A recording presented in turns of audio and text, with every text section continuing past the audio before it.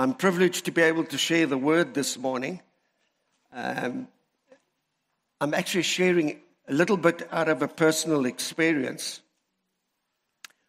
I might have said this last week, excuse me, but um, it was quite strange to me as I was driving out of George.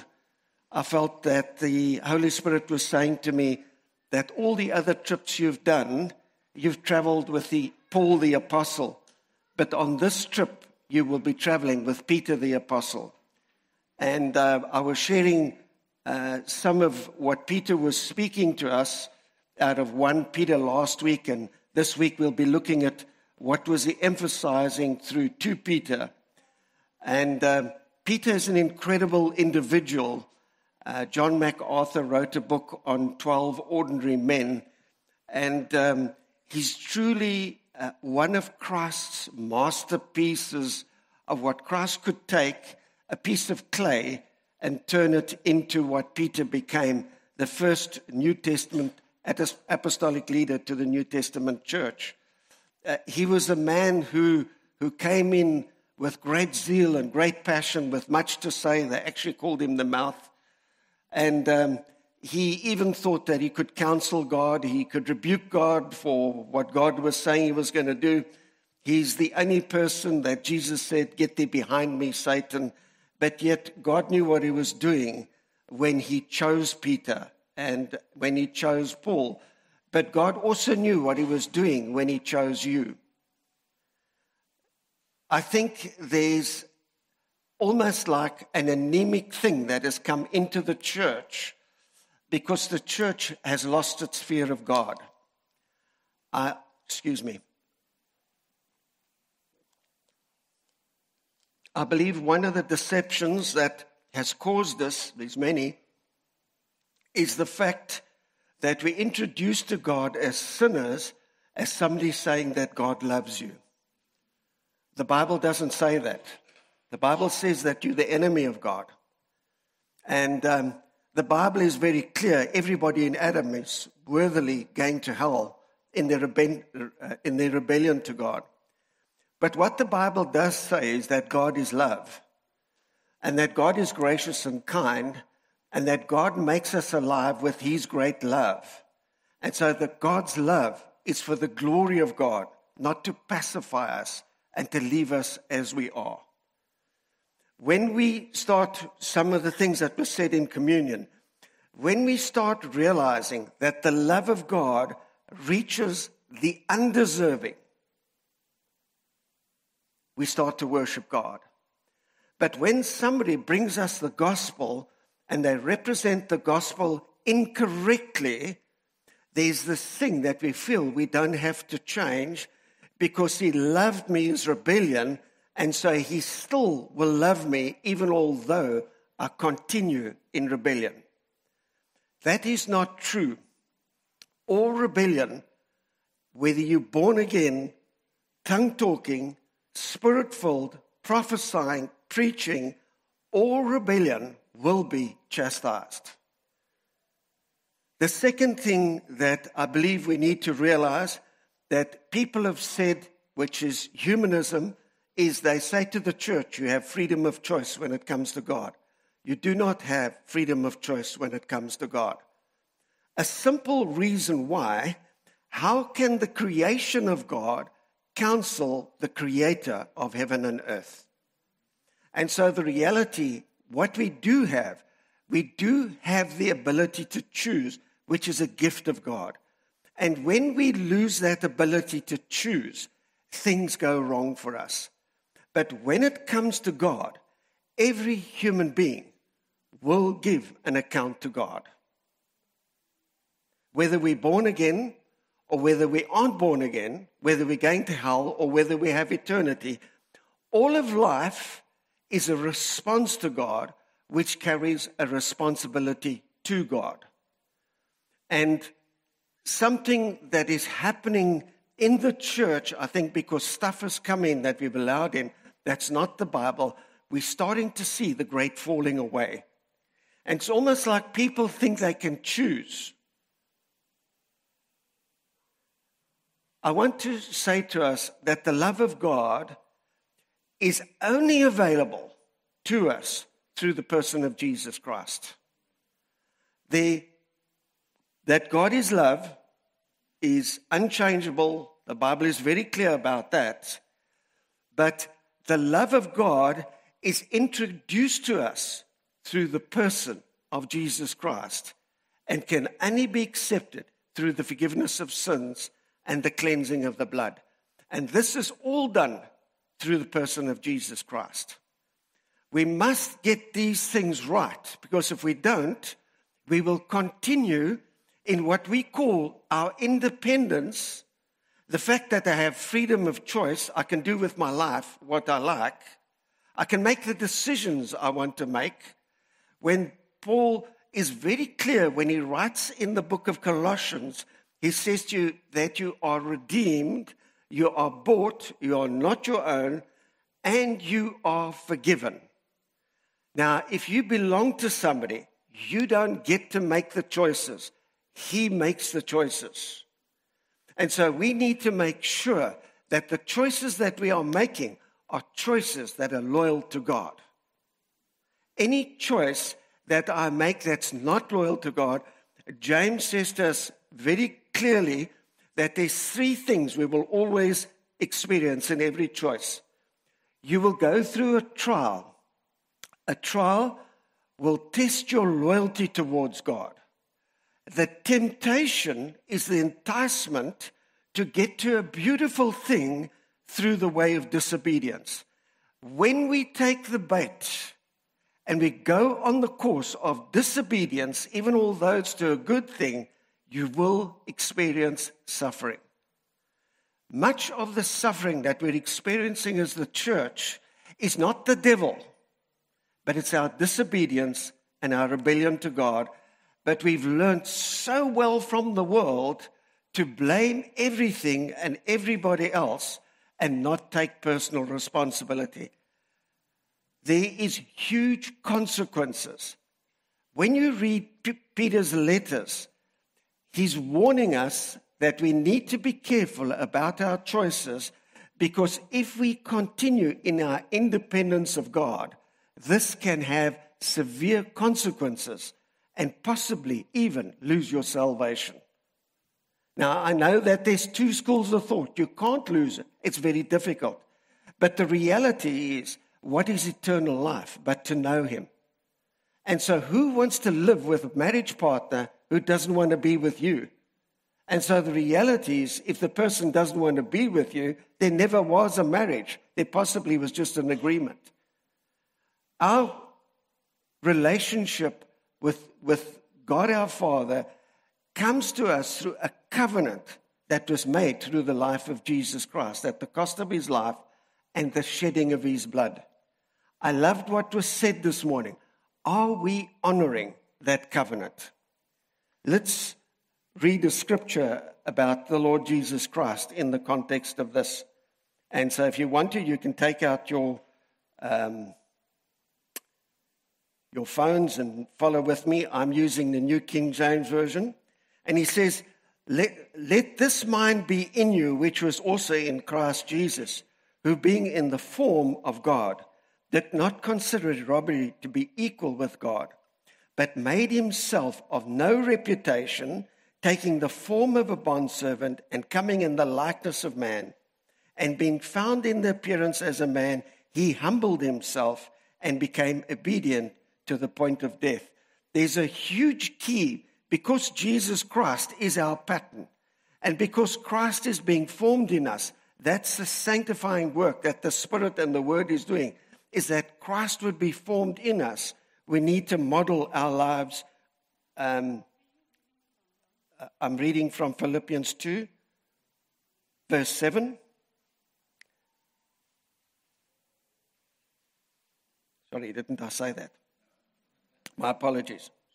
So I'm reading from Philippians 2. From I started at verse 5. Um, let's read it again. Philippians 2, verse 5. Let this mind be in you, which was also in Christ Jesus, who being in the form of God, did not consider it robbery to be equal with God. Why? Because he is God. But made himself of no reputation, taking the form of a bondservant and coming in the likeness of man and being found in the appearance as a man, he humbled himself and became obedient to the point of death, even death on the cross. And so take note, these are personal choices that Jesus made. Nobody did this to him. This is what he chose to do in obedience to the Father. Therefore, God has highly exalted him, given him the name above which every name, that at the name of Jesus every knee should bow, those in heaven, those on earth, those under the earth, and that every tongue should confess that Jesus Christ is Lord to the glory of the Father. And so what I'd like to say to us, and um, it was a statement, I just want to change my. It was a statement I picked up um, from John Piper, and I do agree with it, at having experienced something of what, what I'm going to say, that all pride is turning away from satisfaction in God to find satisfaction in ourselves. All pride is turning from finding satisfaction in God to finding satisfaction in ourselves. Now, we need to recognize that there are two forms of pride that God will always be dealing with, that every single one of us suffer from. The one is strong pride. So, whenever we are boasting, we see that Christ humbled himself. He didn't boast, he didn't see himself as equal to God. Although he is God, he humbled himself. And so there's, there's boasting, there's strong pride that God would deal with. And then there's weak pride. Weak pride is always the difficult one. But weak pride has this in it life happening to me.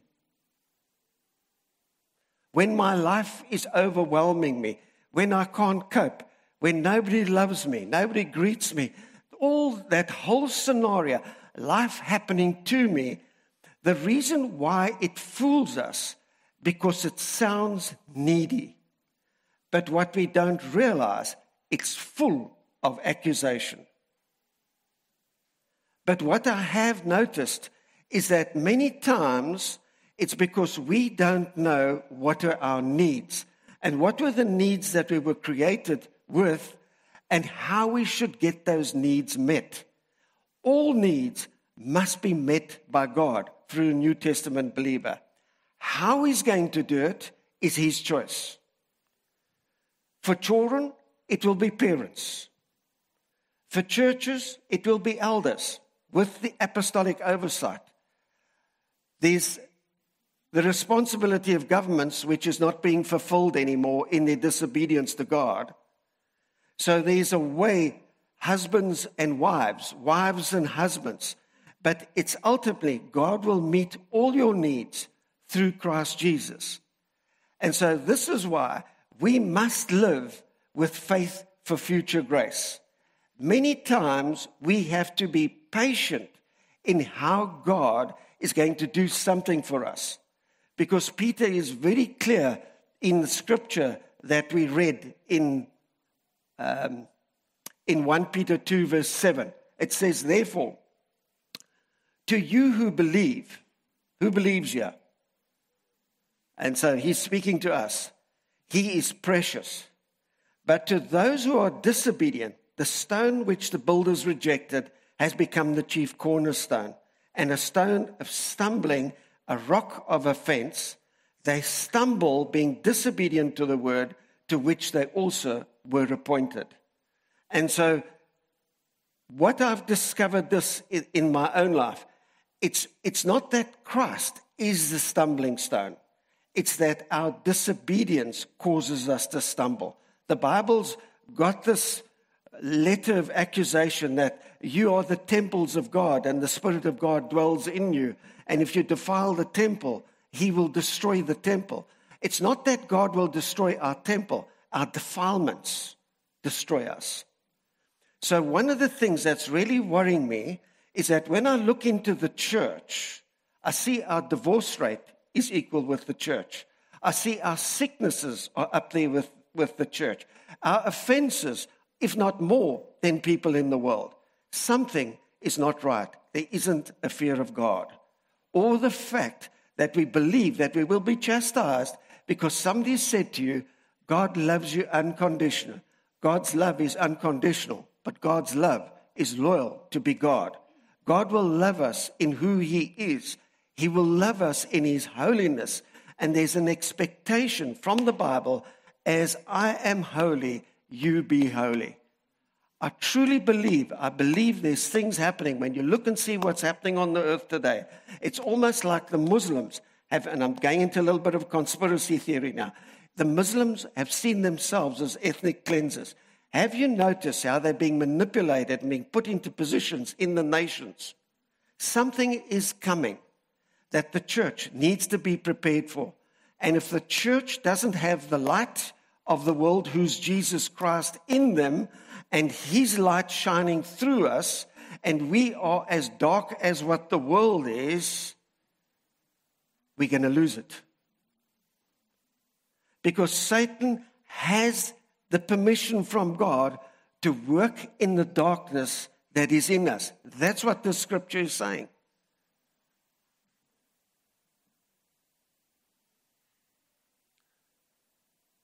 And so we take a little bit of a journey um, in Luke chapter 9, although I'm reading out of as a timeline, that's when it happened in Luke 9. I'm going to be using the book of Luke as the timeline, but reading out of Matthew, Matthew 16, verse 13, when Jesus came into the region of Caesarea Philippi, he asked his disciples, saying, Who do men say I, the Son of Man, am? The disciples saying, um, so they said, Some say John the Baptist, some Elijah, others Jeremiah, one the prophet. And he said to them, But who do you say I am? This is an answer we must be able to give as well. Simon Peter answered and said, You are Christ, the Son of the living God. Jesus answered and said to him, Blessed are you, Simon Bar Jonah. He's addressing Peter because he's not born again. He's still unredeemed, but a, a disciple of following Jesus Christ. For flesh and blood has not revealed this to you, but my Father who is in heaven.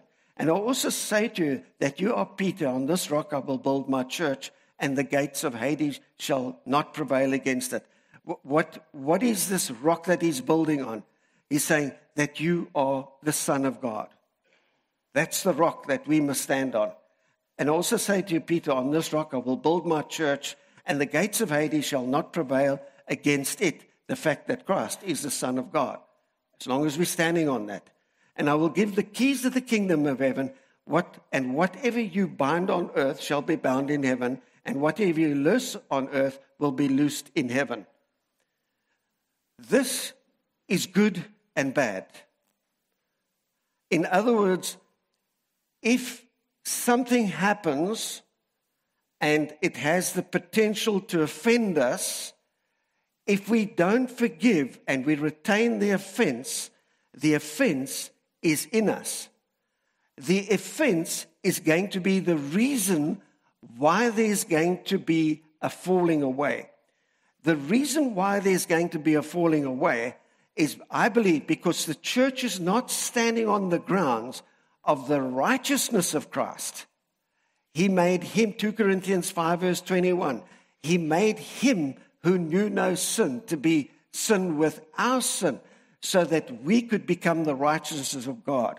And so the reality is how we stand before God is we stand on the grounds of what Christ has done for us. Our security is Jesus Christ. It's got nothing to do with us. Remove Jesus, we're all back in hell again.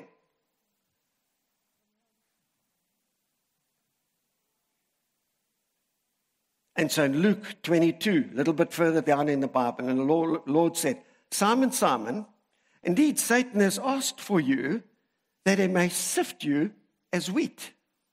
Mm. But I've prayed for you that your faith should not fail, And when you have returned to me, strengthen your brothers. Mm. Many of us don't realize it, but we have gone through the same process. Satan has come and asked if he can sift us. Christ, who we know is our great high priest and our apostle with the Father, he's prayed for us, he's standing in the gap for us. But Satan is allowed to go into Peter's life and to sift him like wheat. He will be allowed to come into our lives, as he recently did in my life, to sift us, to get the tares out of our lives, the lies that we believe. I believe predominantly what God is going to be dealing with us. And so, what's He dealing? He's dealing with Peter's pride. What is God going to deal with us? Is in our strong pride and in our weak pride. But and, and, and it's in this context where I believe that this happened to me a couple of months ago when I went through a strong chastising of God, where God was dealing with these things in my life. So I'm not standing here and saying to you, I'm doing it right. I'm saying to you that chastising is painful. Repent. Do not call this fire into your life through your independence of the Holy Spirit who will bring a conviction to you in the right time. It's the, it's the ignoring of the conviction of the Holy Spirit that brings about the chastisement. But we'll look at it can get worse. But the reason I'm here, where God would be saying to me, when you have returned to me, strengthen your brethren. So I'm really hoping that although it's a confrontational message, that I'm saying to you, when you go through the dealings of God, and God allows you to go through this thing, processing is key to life. You cannot go through a chastisement on your own. You will come out with the very things on the other side that you believe to be a true, which actually is against the Word of God. That is why the church is not designed at church membership, it's designed at discipleship. There's somebody in your life that is more mature with you that you can go to and say, This is what I'm hearing, this is what I'm experiencing. Be taken through the Word of God to see is there something in the Word of God that you are going through that God wants to correct in your life.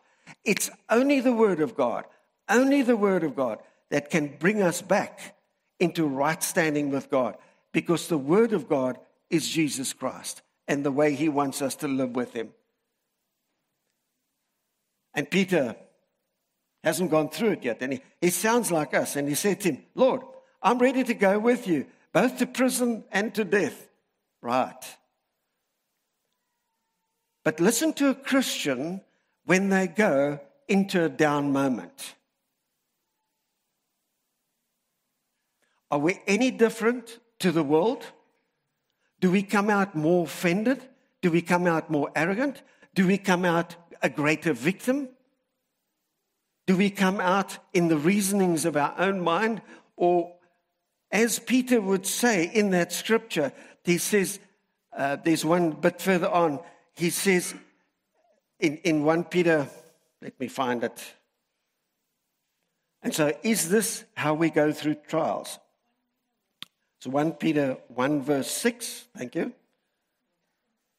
In this you greatly rejoice.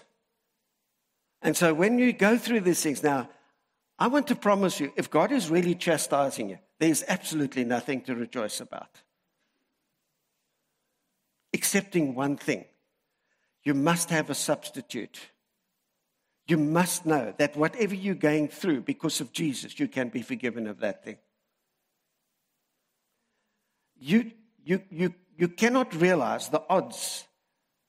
For three days, I was tormented by demonic demons as they just came. As they came, like David said, the tormentors in the night.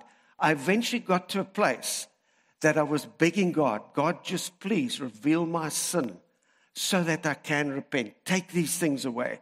But I really had to get to the end of myself.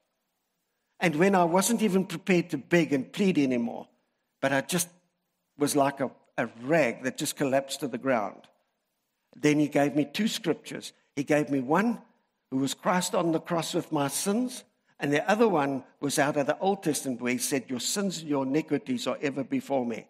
And you see, that is true if Christ is not our substitute. And so when we stand, according to Isaiah, Isaiah says, when we stand in our own righteousness, we are like filthy rags. And so the most important thing when you go through this thing, your only defense is Christ on the cross and Christ in his resurrection and Christ seated on the throne. It's our only hope. There is nothing else that can save you. You can't fix it because you're deceived. You truly believe that you're right. You truly self justify. And the people that have hurt you, you're so self righteous in your defense and or, or so weak in your self defense, whatever it is. But if Christ is not, if Christ is not the rock that we stand on, you will be defeated until you come to that place. So he says, In this you greatly rejoice. Now, for a little while, if need be, you have been grieved by various trials. You see, rejoice and grieved, like hectic, man. Which one is it? And he says that the genuineness of your faith, being much more precious than gold, because your faith is Jesus, that perishes though it is tested by fire, may be found to praise, honor, and glory at the revelation of Jesus. So, this is when we're going through these tests. What are you waiting for? God must do something for you. You need to live when you're going through your darkest moments. You must live in the same grace that saved you. Saved by grace through faith, not of yourself, a gift of God. The gift of God through Christ will come and bring you something that will enable, enable you to, to be forgiven or to forgive whatever the offense is. But Jesus is the solution. It's not in us. We sit there, we try and come up, we read the Bible, we try and find solutions. But only God can deliver us out of this thing that we will be taken into. We need to get ready. Many of us are going to go through this thing. You stand strong in the faith because Christ says that all of those that have been given to him by his Father cannot be stolen. But we need to make sure we do not walk away.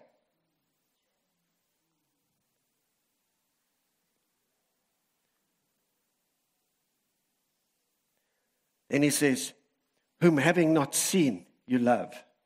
And so the reality in the dark night of the soul, when you gain through that thing, man, the furthest person from you in your perception, in my perception, is God, His love, Everything that you've heard in the Bible is standing under test. Everything is being questioned by us. Every bit of unbelief, the devil knows how to push the button exactly where it is.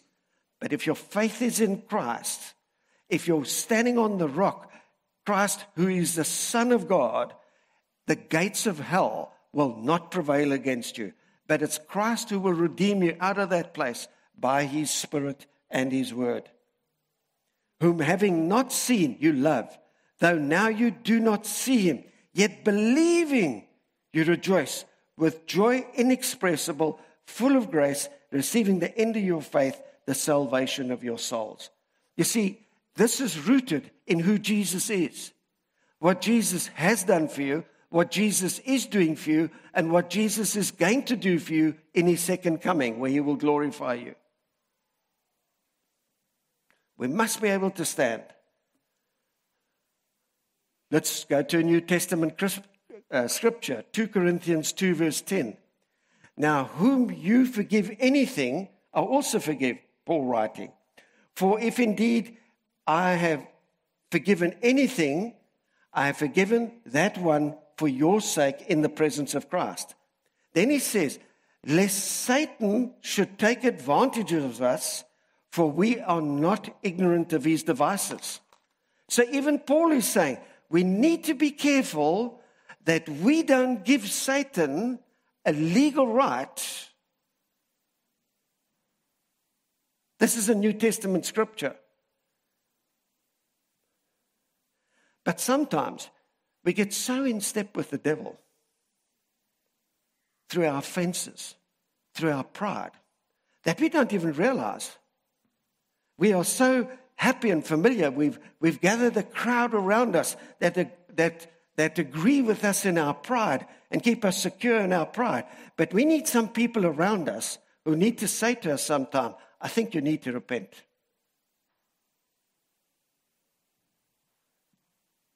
Don't look for people who'll console you in your misery. Look for people who will help you to come back to God. Let's look at some scary scriptures.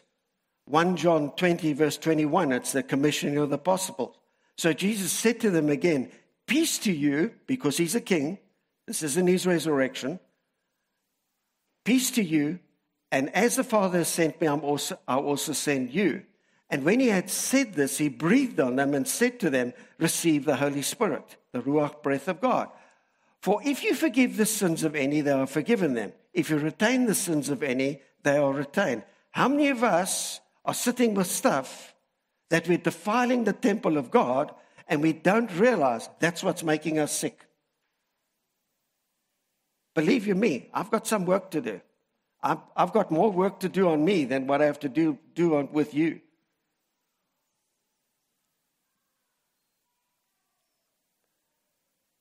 Last week I said to us that everything we say that comes out of our mouths actually speaks about who we are. And so we can look at each other, we can help each other by what comes out of each other's mouths. And so let me prove it to you from Scripture Matthew 5, verse 21 to 25. You've heard that it was said, Of those of old you shall not murder, and whoever murders will be in danger of judgment. But I say to you that whatever is, but whoever is angry with his brother without a cause shall be in danger of judgment. And whoever says to his brother, Raca, you fool, shall be in danger of the council. But whoever says, you fool, shall be in danger of hellfire. How many of us in the traffic are calling the guy in front of us the fool? Therefore, if you bring your gift to the altar and they remember that your brother has something against you, leave your gift there before the altar and go your way. First be reconciled to your brother and then come and offer your gift. Then it says something incredible. Agree with your adversity quickly while you are on the way with him. Test your adversity, uh, lest your adversity deliver you to the judge and the judge hand you over to the officer and be thrown into prison. Assuredly, I say to you, you will by no means get out of there until you pay back every penny. Hello. Which of us can buy ourselves out of our sins? So there's something very incredible in the scripture. When you look at the word adversity, it has three layers in it. First of all, somebody is bringing a charge against you. Satan will come to God with something that's legitimate in our lives, and he'll laugh in God's face and he'll say, He or she is just like me. I can have them. God will allow your adversity to take you into a place, but there is a key that you can learn from the scripture. I'm not asking you to agree with your adversity. I'm asking you to agree with the accusation. But why am I asking you to agree with the accusation? Is because the second part of that word adversity has there is a substitute. There's somebody you can put your faith in, even although you're accused, whether you're guilty or not. If you put your trust in the substitute who's Christ, who is the forgiveness of sins, and you trust in God, the third level, a verdict will come out. If you try and save yourself, if you try and justify yourself, if you try and whatever, if you open your mouth in who you are, in any form of pride, you need to know what Peter said. There's a stumbling block and there's a snare that is waiting for us until we pay back every cent. But by the grace of God, hopefully somebody, like he said to Peter, when, when you've returned back to me, that you will come and restore your brethren. Somebody who's possibly gone through the same thing as you can come to you and say, Do you think this is what God is dealing with in your life and help you right? So, whenever we get into a place of accusation, the first thing you must do, but we need to realize because you agree with your adversity on the way to court, if you agree with the, with the accusation, you're still going to go through the deliverance or the chastisement.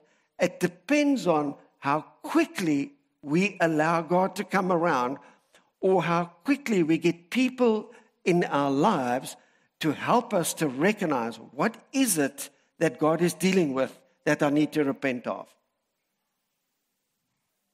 So, Matthew 15, verse uh, 18 says this But those things which proceed out of the mouth come from the heart, and they defile man.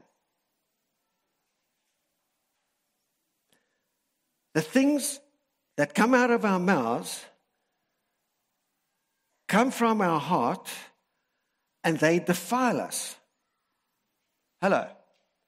Who's squeezing you?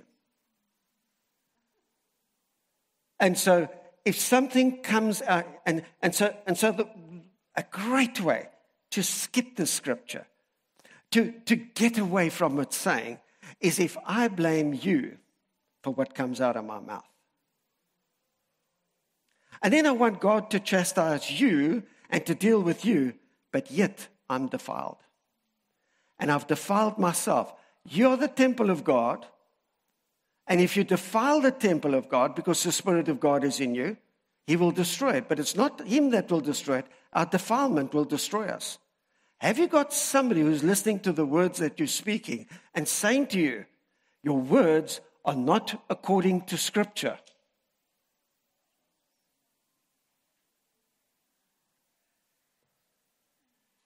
But those things which proceed out of the mouth come from the heart, and they defile a man.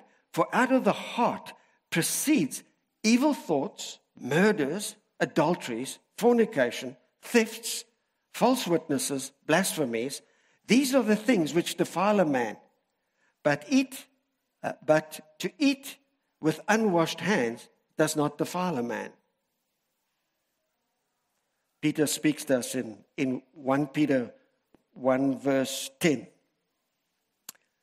Therefore, brethren, be even more diligent and make sure your call and election sure, for if you do these things, you will never stumble. For so an entrance will be supplied, and so an entrance will be supplied to you abundantly into the everlasting kingdom of our Lord and our Savior, Lord Jesus Christ. So we see that that, that Peter's writings here are saying to us make sure, be diligent to make sure that who's called you, Christ said, follow you. Who are you following? And your election that God has chosen you, sure. Because in all of these things, if you do these things, and you can, if we go back to verse 5, it says, 1 Peter 1, verse 5, and it says, But also for this very reason, giving all diligence, add to your faith virtue, to virtue knowledge, to knowledge self control, to self control perseverance, to perseverance godliness, to godliness to brotherly kindness, and to brotherly kindness love. I can't go into these things, I don't have the time. For if these things are yours and abound, you will be neither barren nor unfruitful. So there's a potential we can be barren and unfruitful if these things are not in our lives, nor unfruitful in the knowledge of our Lord Jesus Christ. For he who lacks these things is short sighted, even to blindness, and has forgotten that he was cleansed from his old sins. So, what Peter's saying here, he says there's the potential if we neglect the word of God, if we neglect the knowledge of God, the revelation of God, and who Christ is, these things can become ours. And so, what we have to say to ourselves is Am I short sighted? Am I, am, I, am I suffering from blindness? Have I forgotten that I've been cleansed from my previous sins? In other words, I'm, I'm perpetually defiling myself through the things that are coming out of my mouth because I've forgotten the loving kindness and the goodness of God that brought me to repentance. I've been talking about the fact that we need to be careful about false teachers. So if we go to 2 Peter 2, verse 18 For when they speak great swelling words of emptiness, they allure through the lusts of the flesh, through lewdness, the ones who have actively escaped from those who live in error. Um, I'll read that again. For when they speak great swelling words of emptiness, they allure through the lusts of the flesh, through lewdness, the ones who have actually escaped from those who live in error.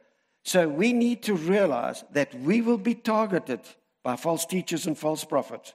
And he says, while they promise them liberty, they themselves are slaves of corruption.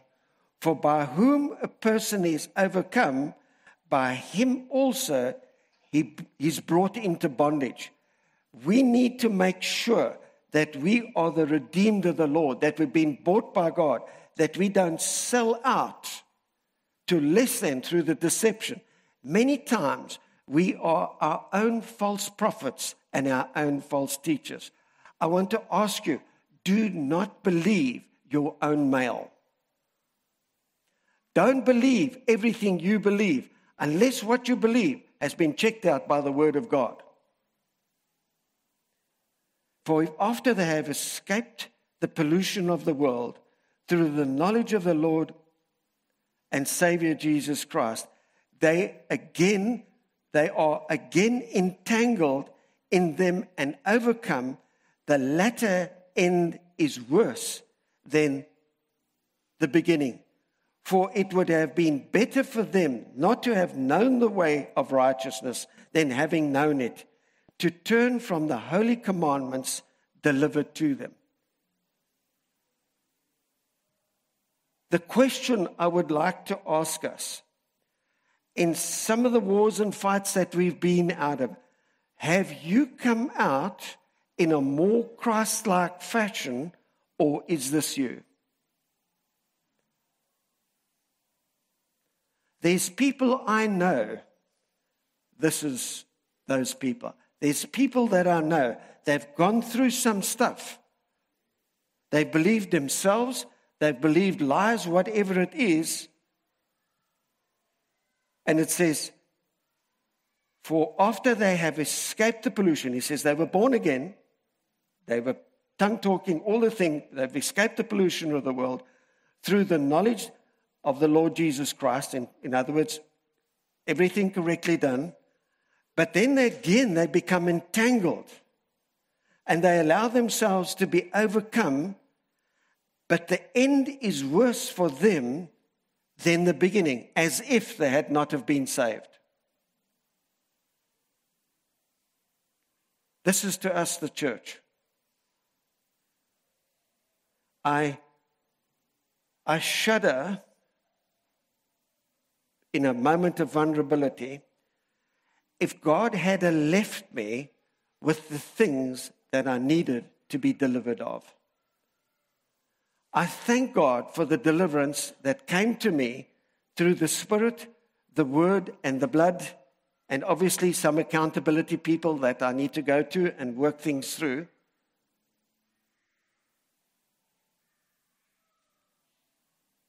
But don't become complacent. Look what's coming out of your mouth. Get somebody who loves you, somebody who cares about you, to question some of the things that are coming out of our mouth because we are destroying ourselves, we're defiling ourselves. And this is when I speak to you as a pastor. Because my responsibility as an elder is that I should feed you through the Word of God. I should love you through the Word of God. And I should give you direction through the Word of God. And the, the problem for us, the problem for us is we've, we've, we've developed something of, well, everybody's doing it. We've, we've, we've almost like the frog in the water. We, we become complacent because the people around us are, are actually not reaching are not pursuing their faith in, in an incredible way. And we're all just becoming complacent. A friend of mine in America has just done a men's camp. He said, I've come back. I'm so disillusioned. He says, all of these men at this meeting, he says, but there's no consciousness of God. But they're all church members. And maybe they were but in some of the offenses and the things that are happening and coming through, they now at a place. And so I'm not saying this is you, but I'm saying check yourself. Verse 22. But it has happened to them according to the true proverb a dog returns to his own vomit, and a sow, having washed to her wallowing in the mire.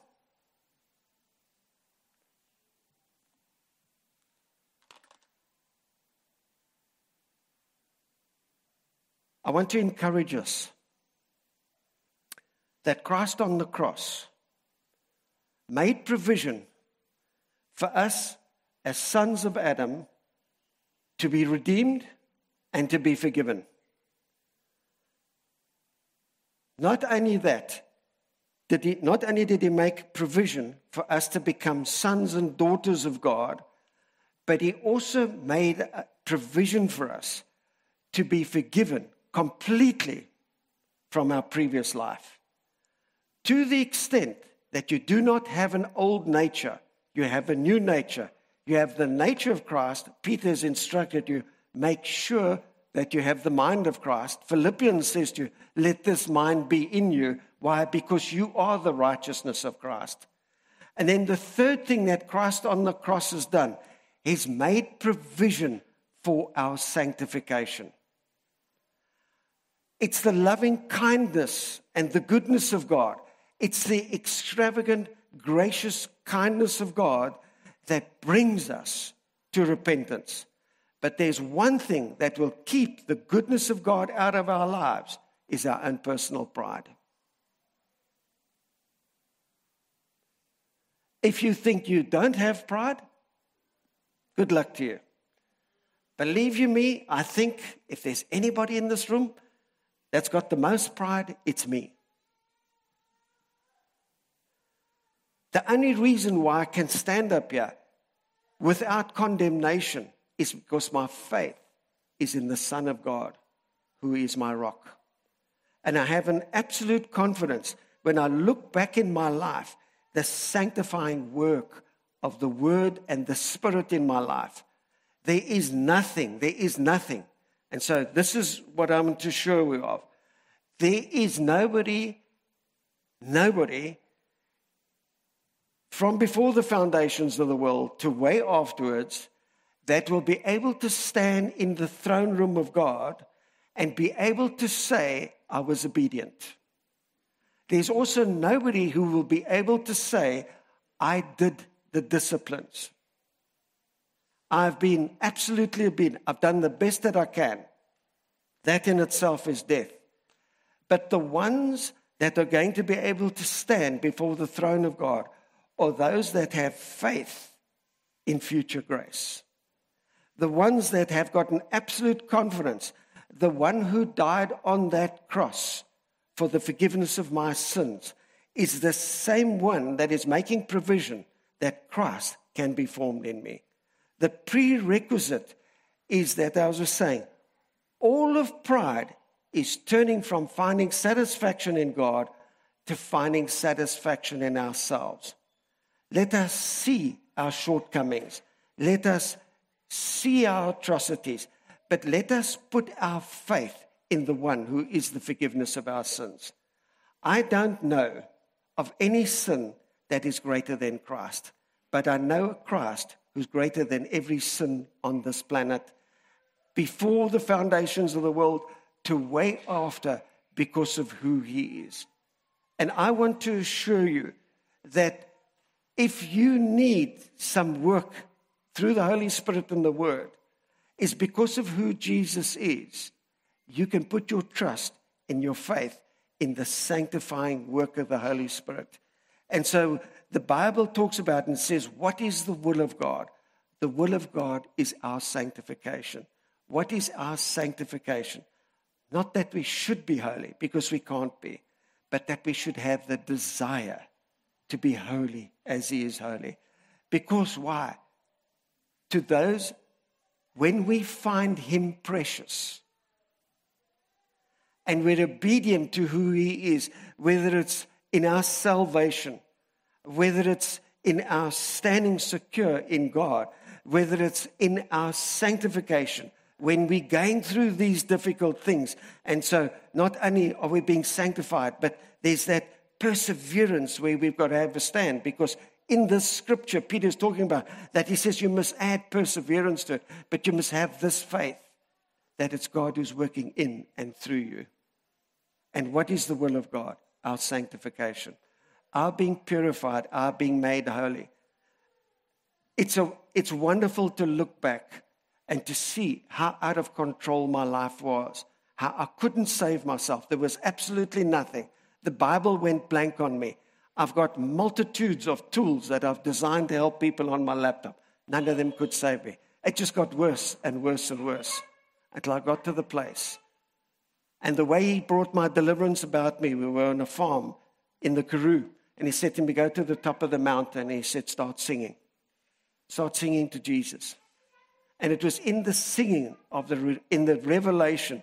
And so, where Peter says, When you've gone through these various trials, you will be given the ability to give him praise, honor, and glory.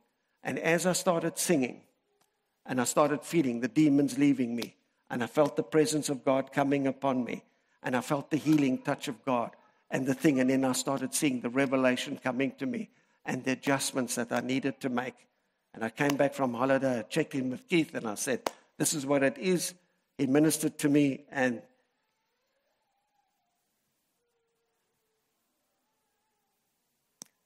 I may have unsettled you. I hope I did. But I also pray that I've given you an absolute security. On this rock, I will build my house, Jesus Christ. And the gates of hell will not prevail against it. And where Corinthians says, No other foundation shall we lay than that which is Christ Jesus. And if we build on that foundation, we need to be careful how we build on that foundation because that foundation will be tested as if by fire. And anything that we are building will be destroyed, but we will be saved because Christ is our foundation. He's the only one, I can give you a guarantee, He's the only one who knows exactly what's going on in your life. He's the only one who knows exactly how to raise you up and to do what you're doing. And so I finish off with only one name on my lips. And that's the name that's above every name. The name of the one who's been highly exalted, highly exalted, and placed on the right hand side of God the Father in his splendor and in his majesty. Can we stand, please?